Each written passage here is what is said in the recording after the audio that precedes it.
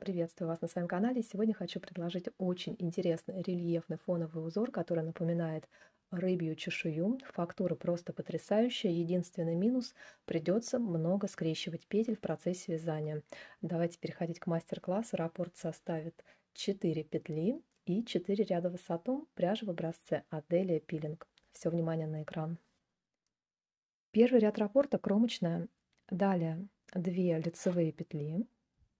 Следующие две петли скрещиваю между собой так, чтобы первая петля осталась перед работой.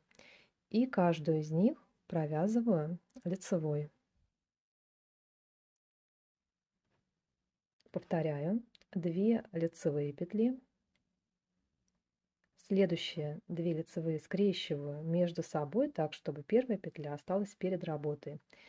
И каждую из них в дальнейшем провязываю лицевой.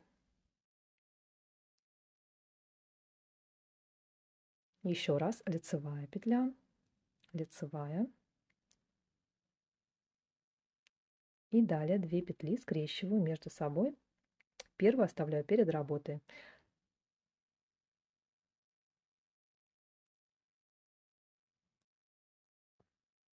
Закончил я первый ряд скрещиванием петель, перехожу ко второму ряду. Сначала кромочная, и первые две петли я также буду скрещивать между собой, только первую петлю оставляю за работой. В дальнейшем каждую из них провязываю изнаночные. Затем последуют 2 изнаночные петли.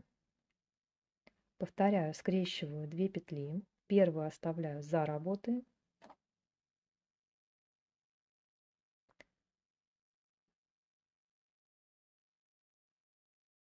Каждую из петель провязываю изнаночные.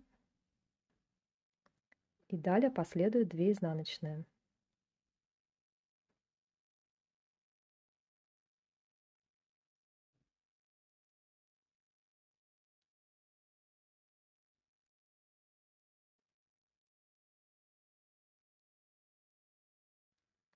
Третий ряд будем вязать как первый, но я меняю позицию провязывания петель в шахматном порядке.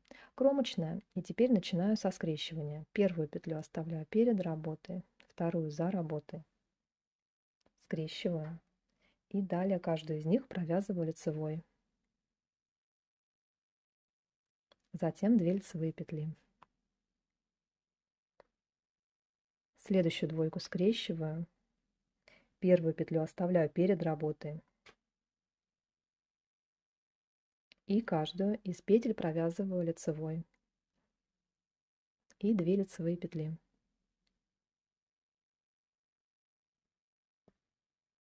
Третий ряд закончила двумя лицевыми. Перехожу к четвертому. Снимаю кромочную и начинаю его с двух изнаночных. Далее скрещиваю 2 петли между собой так, чтобы первая петля осталась за работой. И каждую из петель провязываю изнаночные. Повторяю 2 изнаночные. Скрещиваю 2 петли. Первая остается за работой, вторая перед работой. И каждую из них провязываю изнаночные. Это будет заключительный ряд. Друзья, я завершаю мастер-класс. Еще раз хочу напомнить, узор состоит из скрещенных петель. Главное не ошибиться в процессе их провязывания. Сохраняйте ролик, ставьте лайки, подписывайтесь на канал, а также переходите по ссылке под видео на мой дзен-канал. Там, как всегда, накопилось много интересных идей для вязания. Желаю вам всего самого наилучшего, и мы скоро увидимся.